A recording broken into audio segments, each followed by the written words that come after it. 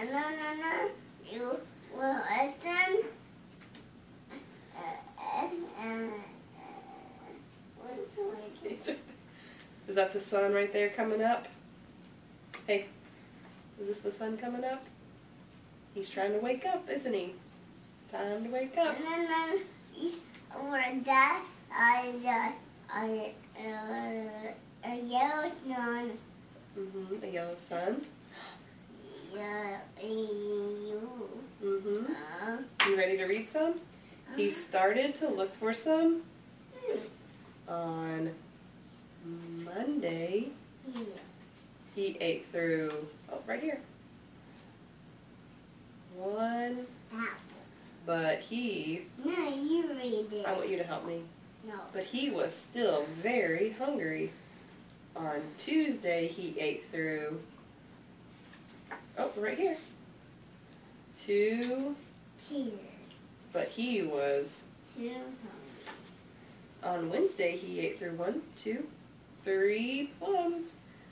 But he was Two still hungry. Thursday, he ate through one, two, you help me, three, four, four strawberries. But he, and on Friday, he ate through one, two, three, four, five. Five, on but he, mm-hmm.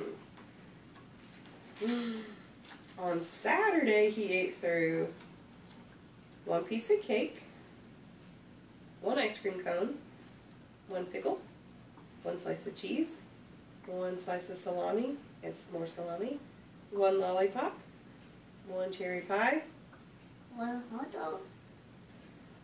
one cupcake, and one, what's that? And one. Watermelon. That night he had a stomach ache.